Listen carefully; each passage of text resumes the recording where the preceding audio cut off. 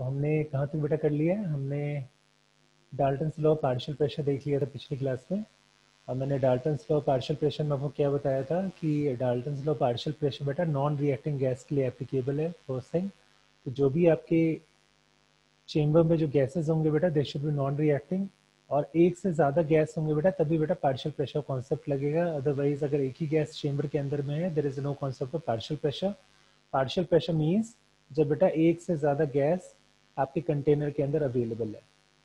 ठीक है बेटा? तो हमने कल पार्शियल प्रेशर का कॉन्सेप्ट देखा था, उसके अकॉर्डिंगली हमने क्या इक्वेशन लिखा था? एक बार कॉन्सोलिडेट करते हैं। हमने लिखा था बेटा कि कोई भी गैस का जो पार्शियल प्रेशर होता है, जो P partial pressure of gas A it is equal to क्या होता है बेटा आपका? It is equal to it is equal to P total into mole fraction of that component ठीक है? ये बताया था बेटा आपको? तो ये पी ए क्या हो जाता है? P A is basically the partial pressure of the gas P A is partial pressure P total क्या है बेटा? It is summation of all the pressure तो ये पी टोटल आपका टोटल प्रेशर है और ये बेटा एक्स से क्या है? X is mole fraction of A component mole fraction of A component mole fraction of A component ठीक है? सिमिलरली बेटा, अगर कोई दूसरा गैस अवेलेबल है तो पीवी क्या लिख सकते हो? PV can be written as PV it is equal to PV is equal to P total into mole fraction of B PV is equal to P total into mole fraction of B बेटा। ये हमने दो देख लिए थे बेटा, और P total क्या होता है? P total is summation of partial pressure of all the component P total is summation of partial pressure of all the component अगर दो ही कॉम्पोनेंट है बेटा तो पी ए प्लस पी भी हो जाएगा। अगर एन एथ कॉम्पोनेंट है तो हमें सारे कॉम्पोनेंट के पार्शियल प्रेशर को एडअप करना पड़ेगा then we would get total pressure out of it ठीक है? फिर मैंने कल बेटा आपको एक कॉन्सेप्ट बताया था, जो काफ़ी इंपॉर्टेंट है एक्वस टेंशन का कॉन्सेप्ट बता दिया था मैंने आपको। एक्वस टेंशन क्या होता है? जो प्रेशर बेटा आपका वाटर वेपर जनरेट करता है। अब ये एक्वस टेंशन का कब बेटा कॉन्सेप्ट लगता है? जब आप बेटा किसी भी गैस को कलेक्ट करते हो वाटर के ऊपर तो आपको क्या होता है कि जो आपका टोटल प्रेशर होता है, उसके अंदर ओरिजिनल गैस की प्रेशर प्लस वाटर वेपर का प्रेशर दोनों होता है बेटा। तो पी टोटल क्या होता है? P total is P dry gas P dry gas plus partial pressure due to water vapour ये जो partial pressure due to water vapour है बेटा इसी को हम क्या बोलते हैं? एक्वस टेंशन बोलते हैं। इसी को बेटा हम एक्वस टेंशन बोलते हैं। तो जब भी बेटा आपको ड्राई गैस का प्रेशर निकालना होगा, आपको क्या करना पड़ेगा? In order to figure out the dry gas dry gas pressure आपको क्या करना होगा? आपको पी टोटल में से क्या करना पड़ेगा? एक्वस टेंशन को सब्ट्रैक्ट करना पड़ेगा। P total minus aqueous tension तो इस पर बेटा कल हमने एक न्यूमेरिकल भी किया था। आई होप इसमें किसी कोई डाउट नहीं होना चाहिए। मैं फिर से एक बार रिपीट कर देता हूँ, आपको क्या गिवन है? अल्कोहल गिवन है। एक विक्टर में अपैरेटस होता है, इस, ज़्यादा हमें बॉदर नहीं करना इसका रिगार्डिंगली वॉल्यूम दे रखा है। वॉल्यूम आपका 171 सेंटीमीटर क्यूब है। 171 सेंटीमीटर क्यूब तो पहले आपको इसको लीटर में कन्वर्ट करना था तो 171 सेवेंटी अपॉन थाउज़ेंड तो ये लीटर में आ जाएगा पहले। तो लीटर में ले आओगे। Of air measured over water water के ऊपर मेजर कर रहे हो डेट मीन्स वॉट कि एयर के अंदर क्या होगा बेटा? वाटर वेपर कॉन्ट्रीब्यूशन ज़रूर होगा। तो यहाँ पे एक्वस टेंशन ज़रूर आने वाला है। अब क्या करें कि जो बैरोमेट्रिक प्रेशर है, was 773 टॉर बैरोमेट्रिक प्रेशर है 773 टॉर ये दे रखा है। ठीक है? इसका मतलब क्या हो गया बेटा? कि जो आपका पी टोटल है, वो आपका कितना है? 773 टॉर है।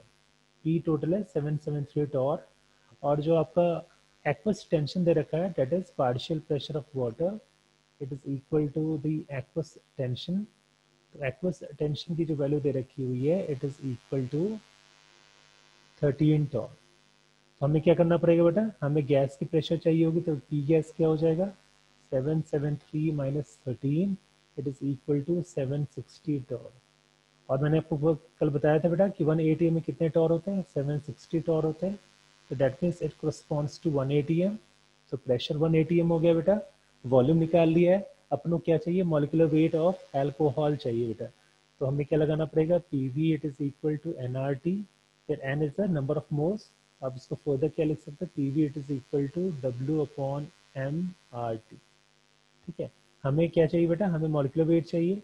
प्रेशर पता है? 180 एटी एम वॉल्यूम पता है? 171 seventy one upon thousand weight बेटा कितना पता है? Weight is 0.33 gram M is unknown सिर्फ़ एक पैरामीटर अनोन है और सारे नोन है। तो यहाँ से एम क्या निकाल लोगे M is going to be W R T upon P सभी वैल्यूज़ को डालोगे बेटा? आर गैस कांस्टेंट है। गैस कांस्टेंट क्या लेना है बेटा? 0.0821 लेना है। 0.0821 लेना है बेटा। एटमोसफेयर लीटर पर केल्विन पर मोल ठीक है? सारे वैल्यूज़ को फ़ीड करोगे देन यू विल हैव 46 आ रहा ना? हाँ 46 ग्राम पर मोल आंसर आ गया। तो बेटा हमने एक्वस टेंशन का कॉन्सेप्ट देख लिया था। एक्वस टेंशन तभी आएगा बेटा जब बेटा आपका गैस को आप वाटर के ऊपर कलेक्ट कर रहे हो। तो गैस की कंट्रीब्यूशन भी होगी टोटल प्रेशर में और आपका बेटा वाटर वेपर का भी कंट्रीब्यूशन होगा। और जो वाटर वेपर का कंट्रीब्यूशन होता है बेटा, उसी को हम क्या बोलते हैं? एक्वस टेंशन बोलते हैं बेटा। ठीक है आई होप यहाँ तो कोई डाउट नहीं होना चाहिए। नेक्स्ट स्लाइड में आते हैं। मैंने ये भी क्वेश्चन आपको कल करा दिया था। फिर से मैं एक बार रिपीट कर देता हूँ क्योंकि थोड़ा सा आपको सोचना है। आप लोग फ्रेश हो तो थोड़ा सा टाइम लगता है। तो ये जो नेक्स्ट क्वेश्चन था atmospheric air contains 20 percent O two and 80 percent N two by volume volume के टर्म्स में दे रखा है। And exert pressure of 760 sixty ठीक है? प्रेशर बता रहा है कि इन दोनों का जो मिक्सचर का जो गैस है वो कितना प्रेशर एक्सर्ट कर रहा है। आपको क्या निकालना है? Calculate the partial pressure each gas but हमें पता है कि पार्शियल प्रेशर पीच क्या in terms of Dalton law what we could write that partial pressure of O two would be equal to P total N two mole fraction of O two ये लिखते हो ना? And similarly you could write partial pressure of N two it is equal to P total N two mole fraction of N two ठीक है? अब एक बार से note करो, मैं अटेंडेंस एक बार ले लेता हूँ, फिर आगे चलेंगे।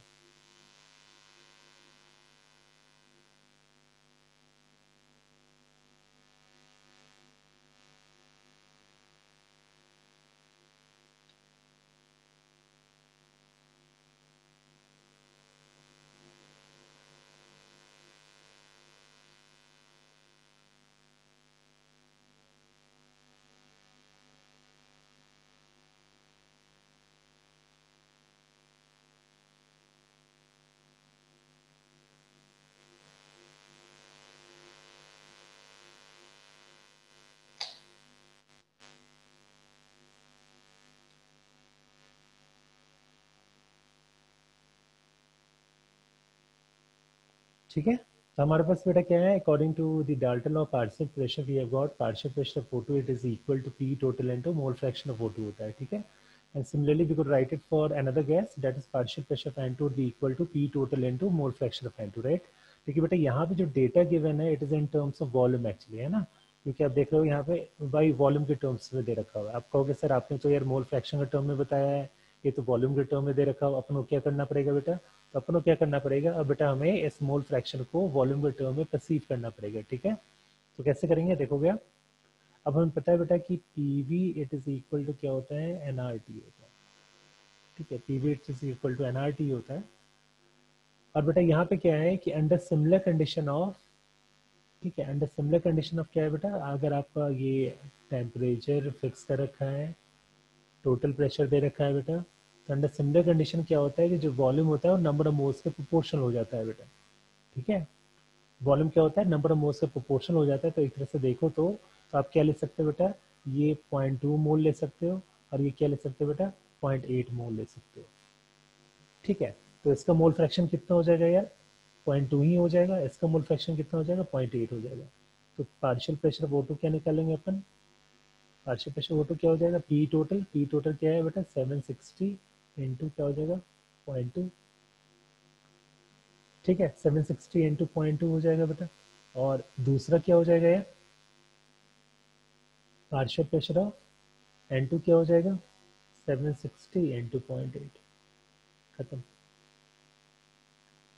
ये तो जो नेक्स्ट एग्जांपल है बेटा, ये फॉर्मूला बेस्ड क्वेश्चन है। The vapour pressure of water in air at 28 degree Celsius ये करा दिया था। इसमें कोई डिस्कशन की ज़रूरत नहीं है सच अब नेक्स्ट क्वेश्चन में आओगे, बेटा, ये भी फॉर्मूला बेस्ड क्वेश्चन है there is no requirement discussion आप ये किए हो गए air contains mostly oxygen nitrogen carbon ये हमने कर लिया था। पी टोटल वाला कॉन्सेप्ट था बेटा। P total it is equal to partial pressure of oxygen plus partial pressure of nitrogen plus partial pressure of क्या हो जाएगा बेटा? सी हो जाएगा। एक अननोन पैरामीटर है देखो फिगर आउट अब देखो यहाँ पे। अब यहाँ पे है मैंने कुछ क्वेश्चन दिए थे that which of the following curve does not represent Boyle's law इसका क्या आंसर निकालो यार? कौन सा आंसर आएगा? पहले एक बार मैं देखिए बच्चे यार ये उन्नीस से रहते फिर तुरंत एग्जिट हो जाते हैं के लिए कौन कौन है?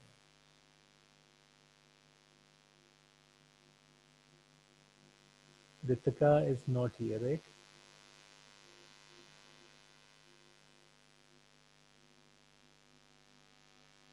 Hmm, बेटा बताओगे आप?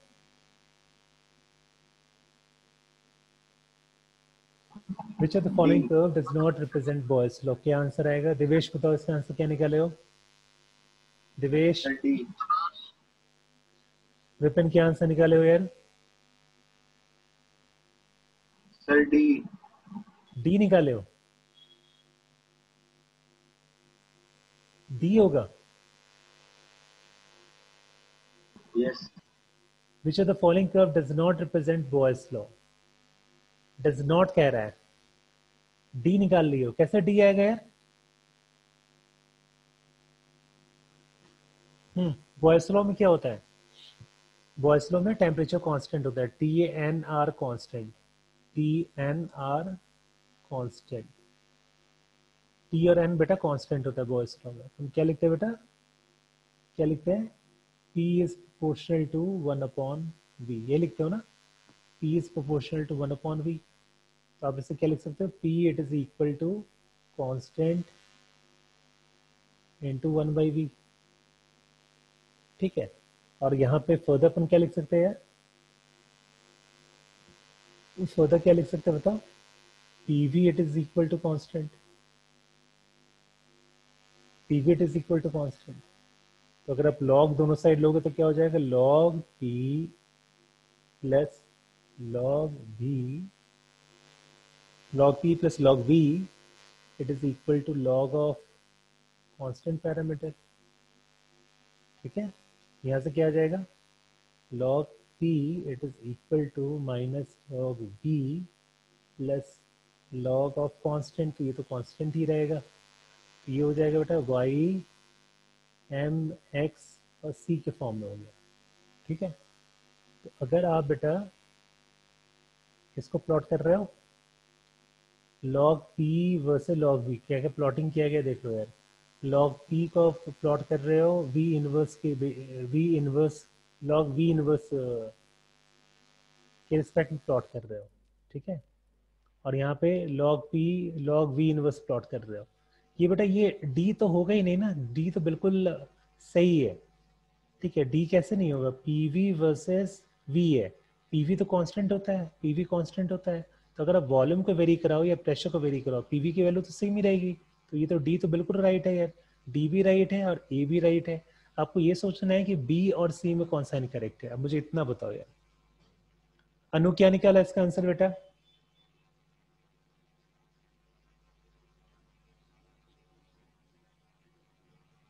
पंकज?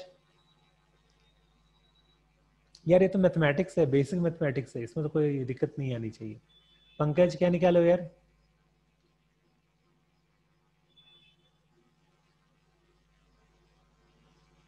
हाँ यार, कोई नहीं बता रहा है।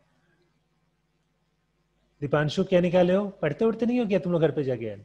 Log P it is equal to क्या लिख सकते हैं इसको लॉग वन बाई वी लिख सकते हैं ना? One by V log one by V plus log constant यही होगा ना? लॉग की प्रॉपर्टी लगा दी है बेटा। ठीक है माइनस साइन है ना तो वी इनवर्स आएगा तो माइनस वन से मल्टीप्लाई हो तो सेम थिंग है माइनस लॉग वी को लॉग वन बाई वी लिख सकते हैं। अब देखो बेटा, आपने जो प्लॉट किया है पी वर्सेस वी में बेटा कोई डाउट नहीं होना चाहिए। पी वर्सेस वी में तो बता रखा है हाइपरबोलिक ग्राफ होगा, ये तो हो गया। पीवी वर्सेस वी में बेटा कोई डाउट नहीं होना चाहिए। पीवी वर्सेस वी भी कांस्टेंट होता है, और पीवी वर्सेस भी क्या होगा बेटा? कांस्टेंट ही होगा। ये दोनों ग्राफ बता रखे हैं। अब बच गया बेटा सी और बच गया डी सी और डी में क्या आंसर होगा? सॉरी, सी और बी रह गया। सी और बी में कौन सा रियलिस्टिक है? जल्दी बता दो यार। तो आपको प्लॉट करना है log P versus log one by V that is V inverse बात वही है। तो बेटा, इस केस में क्या हो रहा है कि जो आपका स्लोप है, वो आपका पॉजिटिव होना चाहिए और इंटरसेप्ट भी पॉजिटिव होना चाहिए। स्लोप पॉजिटिव दिख रहा है। देखिए, यहाँ पे क्या दिख रहा है? Log P versus log B में यहाँ पे स्लोप बेटा नेगेटिव है। स्लोप क्या है? नेगेटिव है। आंसर क्या आना चाहिए बेटा? आंसर आना चाहिए इसका सी आना चाहिए। तो इसका आंसर सी है बेटा। It's not D it's C तो इसका आंसर आएगा बेटा सी सी आएगा नहीं, आएगा। जल्दी बताओ यार। विपिन, समझ में आ गया बेटा?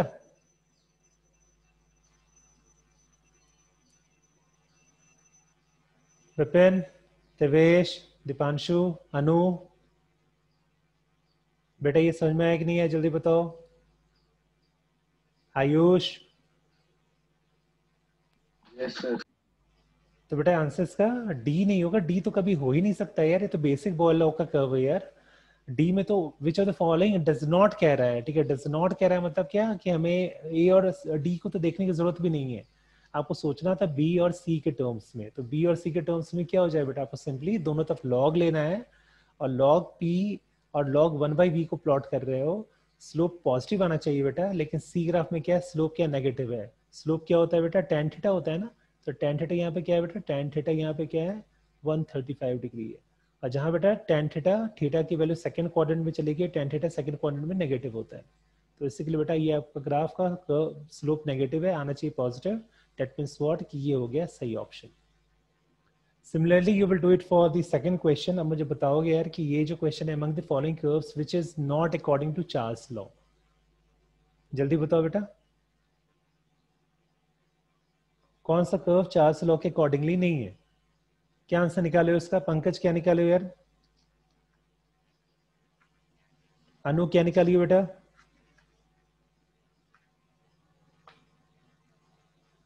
क्या निकाला गया है? बताओ यार। महक निकाला है तुमने? महक?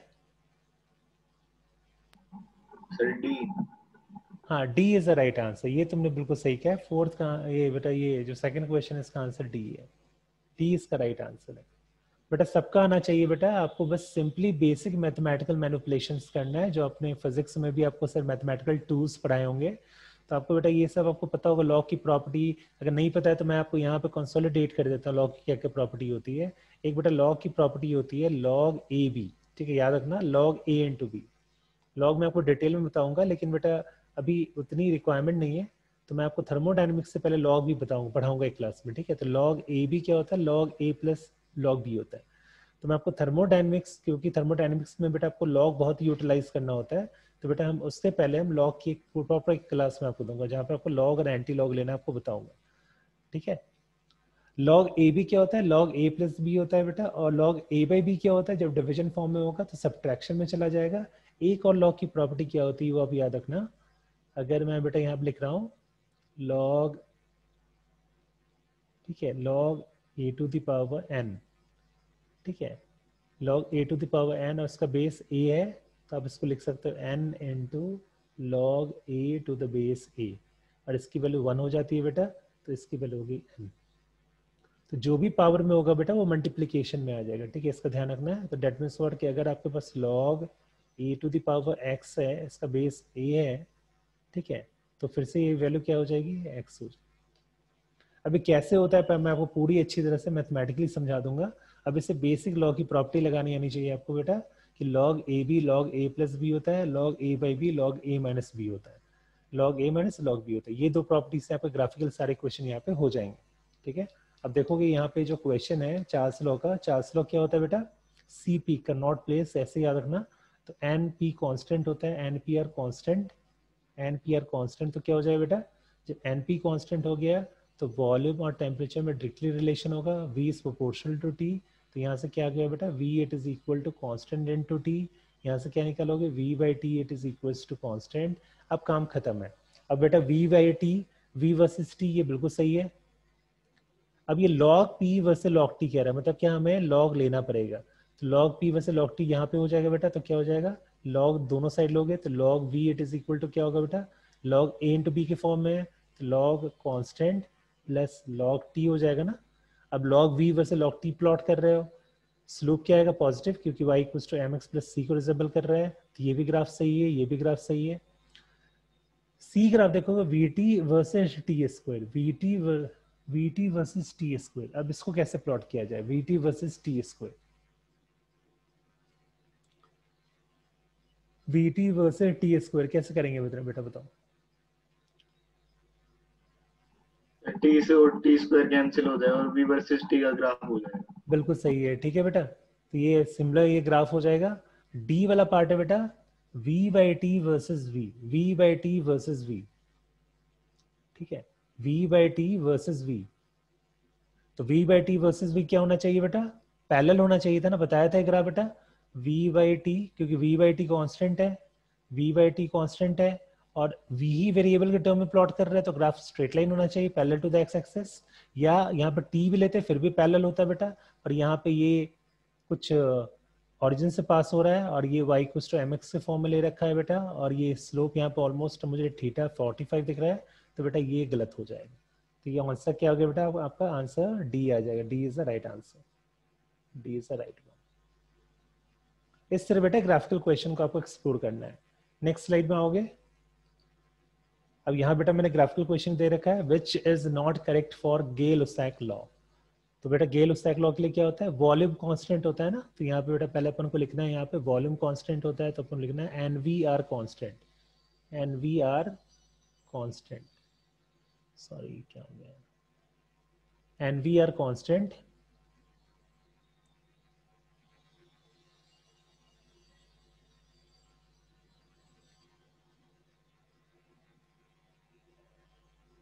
and v are constant.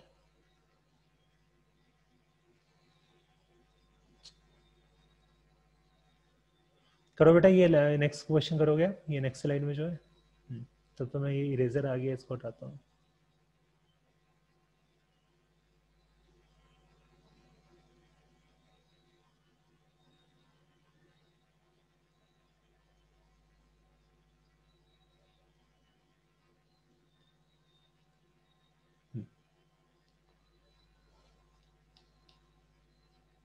यहाँ पे क्या है बेटा आपका?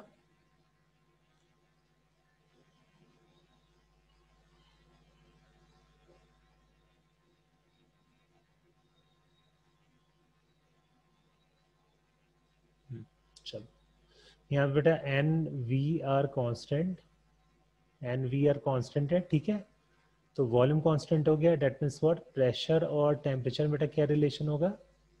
डायरेक्टली प्रोपोर्शनल होगा तो आप इसे क्या लिख सकते हो? P it is equal to constant into T और फिर बेटा फर्दर क्या लिख सकते हो बेटा? P by T it is equals to constant same concept लगाना है और आपको ग्राफ बताना है।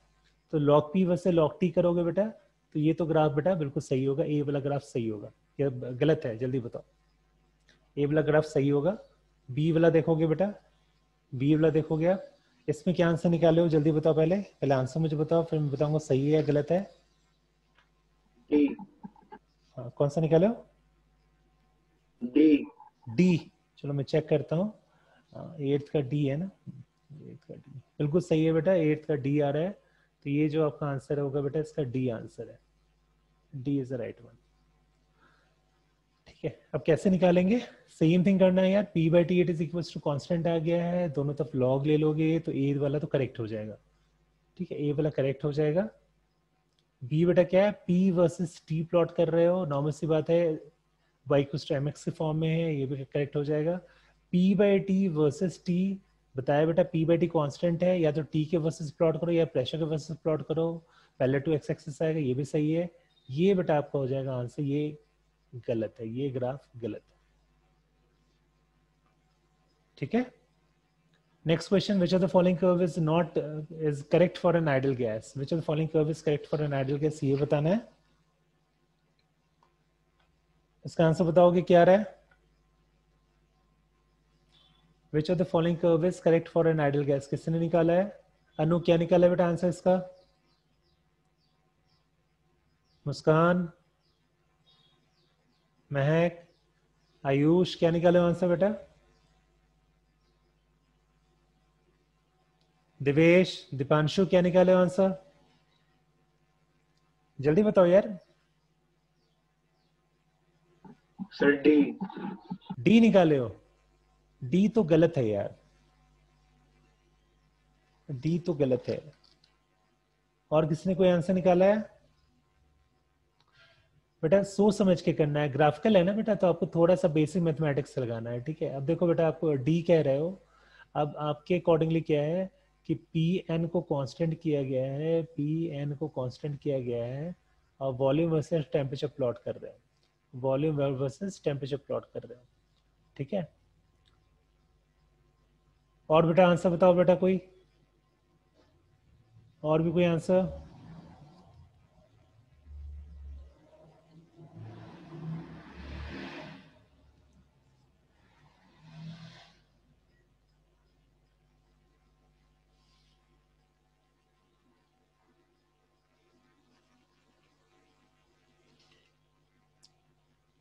बेटा, ये क्वेश्चन में ना गड़बड़ है यार। यहाँ पे ना वन बाई टी कर लो यार। तुम्हारा ये डी तो बिल्कुल सही हो जाएगा अगर यहाँ पे टी होगा। ये वन बाई टी है। V versus one by T है, ठीक है? और पी वर्सेस एन है पी वर्सेस टी है और पी वर्सेस वी है। अब ठीक है बेटा। अब बेटा क्वेश्चन करो। यहाँ पे प्रिंटिंग एरर है। यहाँ पे वन बाई टी होना चाहिए था, ठीक है? इसी के लिए अगर ये होगा तो फिर तो गड़बड़ हो जाएगा फिर। यहाँ पे V versus one by T है। अब मुझे बताओ क्या आंसर आएगा? तो बेटा v versus one by T होगा, तब तो ये गलत हो जाएगा ना? ये तो गलत हो जाएगा। ठीक है। P वर्सेस t भी गलत हो जाएगा बेटा। जब एन कॉन्स्टेंट होगा तो p वर्सेस t भी गलत हो गया, क्योंकि यहाँ पे नेगेटिव स्लोप दे रखा है। P versus v, p versus v एंटी कांस्टेंट बेटा, ये भी गलत हो जाएगा तो बॉयस हो जाएगा ना? ये गलत हो गया। P versus n P versus N, जब वॉल्यूम टेम्परेचर कांस्टेंट है, जब नंबर ऑफ़ मोल्स बढ़ेगा तो प्रेशर भी इंक्रीज होगा, ये सही है। सी इसका आंसर आ जाएगा बेटा। P वर्सेस V क्यों गलत हो गया बेटा? जब आप N और T कांस्टेंट करते हो बेटा तो it is going to follow Boyle's law ना तो इसका बेटा किसका कर्व होना चाहिए था? इसका कर्व कुछ इस तरह होना चाहिए था। ठीक है? ये क्यों गलत हो गया बेटा? पी वर्सेस टी क्योंकि यहाँ पर नेगेटिव स्लोप दे रखा है। पी वर्सेस टी बेटा, जब आप वी एन को कांस्टेंट करोगे तो y को एम एक्स को रिजेंबल करेगा, यहाँ से पास होना चाहिए था, गलत हो गया। P वर्सेस n, बिल्कुल सही हो गया। अगर बेटा ये v वर्सेस t होता ना तो ये c भी सही हो जाता, d भी सही हो जाता। देखिए ये वन बाई टी कर लेना, ठीक है ना? This is one by T please make a correction of this तो अगर टी होता तो बिल्कुल तुम्हारा सही था, जिस, जो भी आंसर बताए थे। आप नेक्स्ट क्वेश्चन में हो गया अब इसमें बताना है which are the following curve does not represent Gay's law seventeen seventeen कह रहा हूँ, इसके अकॉर्डिंगली सेवनटीन है। आप अपना आंसर बताओ, इसका आंसर क्या आएगा यार? P versus temperature P versus temperature सभी में पी वर्सेस टी को प्लॉट कर रखे हो, सिर्फ़ लास्ट वाला क्या है? Log P versus log T है। क्या निकाले हो आंसर दिवेश, क्या निकाले हो? दिवेश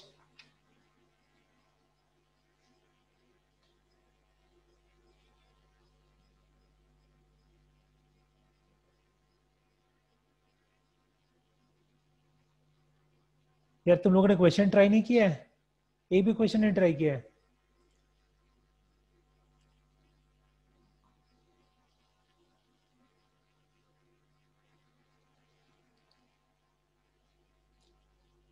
मुस्कान, क्या निकाला है बेटा? प्रशांत, क्या निकाला है? तानिया निकालिए बेटा।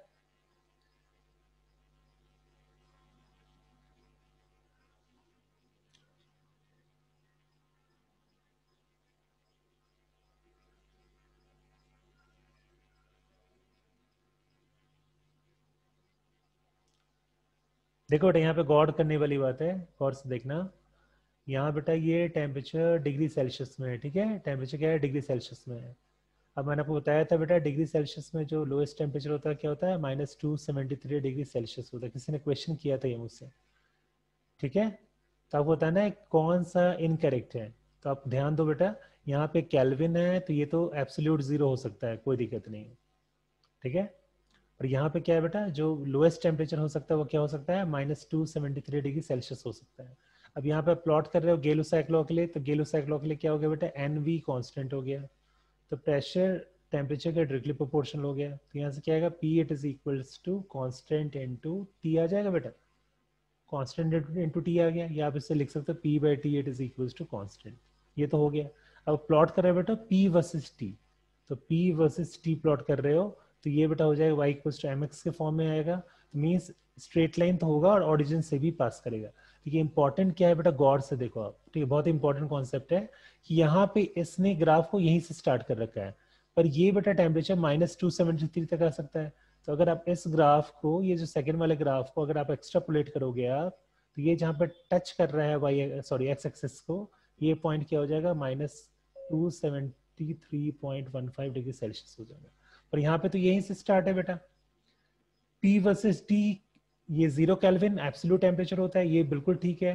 और log P versus log T log P versus log T क्या होगा बेटा? अभी बताया, दोनों तरफ़ लॉग ले लोगे तो क्या हो जाएगा? Log P it is equal to log T plus log constant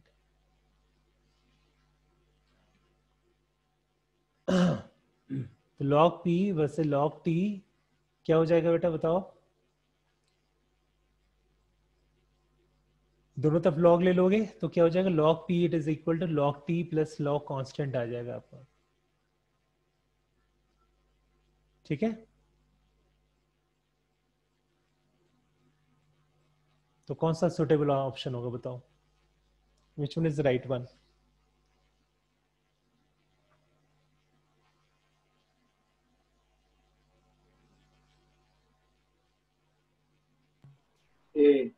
हाँ बिल्कुल ए है बेटा, और ये जो ग्राफ जो, देखो बेटा, इसके अकॉर्डिंगली ए भी हो जाएगा और डी भी हो जाएगा डी क्यों होना चाहिए बेटा, बताओ, जल्दी बताओ।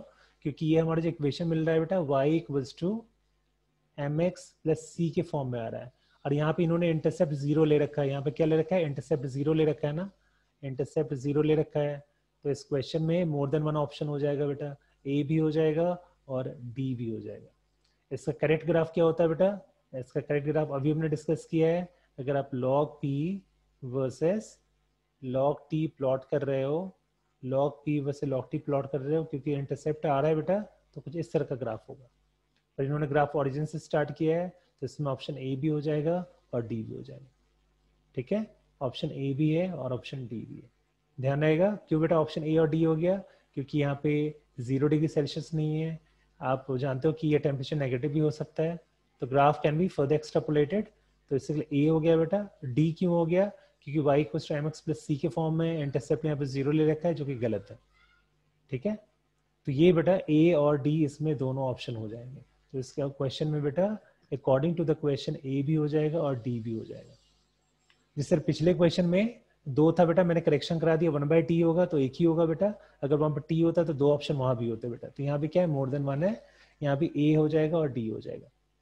नेक्स्ट क्वेश्चन क्या है? V versus T curve at constant pressure P1 and P2 for an ideal gas ये तो कर लोगे यार, ये तो मैं करा रखा है। ठीक है? V वर्सेस T कर्व है मतलब क्या आपने क्या कांस्टेंट कर रखा है? प्रेशर कांस्टेंट कर रखा है। प्रेशर कांस्टेंट किसके लिए होता है बेटा? चार्ल्स लॉ के लिए होता है। अब यहाँ पे जल्दी से बता दो क्या रिलेशन होगा यार। ये तो क्लास में करा रखा है। चार्ल्स लॉ हो गया बेटा। अब आपको कहीं एक एक पैरामीटर को फिक्स करना है, या तो वॉल्यूम को फिक्स कर लो, या तो टेम्परेचर को फिक्स कर लो। जो फिक्स करना है वो मान लो कि आपको टेम्परेचर फिक्स करना है तो यहाँ पे बैठ जाओ। ऊपर की तरफ़ जा रहे हो वॉल्यूम इंक्रीज हो रहा है बेटा। वॉल्यूम इंक्रीज होगा तो प्रेशर क्या होगा? कम होगा। दैट मीन्स व्हाट P1 की वैल्यू P2 से कम होगी। खत्म। तो P1 is less than P2 answer क्या आ जाएगा बेटा? D is the right one आ जाएगा ना बेटा? समझ में आ रही बात? बेटा, मैं क्या कह रहा हूँ? तो यहाँ पे क्या आ जाएगा आपका? B is the right one तो बेटा, इस तरह करके बेटा आपको ग्राफिकल क्वेश्चंस को टैकल करना है। ठीक है, अभी एक दो क्वेश्चन और भी है। अब ये क्वेश्चन है, देखोगे आप, इसका आंसर आप खुद बताओगे। Which one of these graph on an ideal gas the indicates an incorrectly matched one जहाँ पे इनकरेक्शन है, वो बताना है। इनकरेक्टली मैच्ड वन ये बताना बेटा आपको। महक आर यू लिसनिंग आवाज़ आ रही मेरी? Yes, sir, I'm getting your voice. रही है आवाज़ महक Yes, sir. बेटा समझ में आ रहा है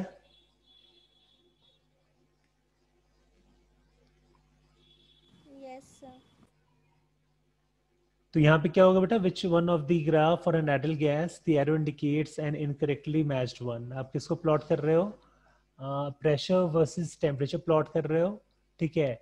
और वॉल्यूम डिक्रीजिंग वॉल्यूम ऊपर की तरफ़ बता रहा है, ठीक है? फिर वॉल्यूम वर्सेस टेम्परेचर प्लॉट कर रहे हो एरो नीचे की तरफ़ है डिक्रीजिंग प्रेशर बता रहा है। सी में बेटा प्रेशर वर्सेस वॉल्यूम प्लॉट कर रहे हो बॉयस लॉ है, और ऊपर में इंक्रीजिंग टेम्परेचर बता रहा है। और बेटा डी वाले में P versus one by V plot कर रहे हो एरो बेटा नीचे की तरफ़ है डिक्रीजिंग प्रेशर बता रहा है। कौन सा इनकरेक्टली मैच्ड है आपको ये बताना है। कौन सा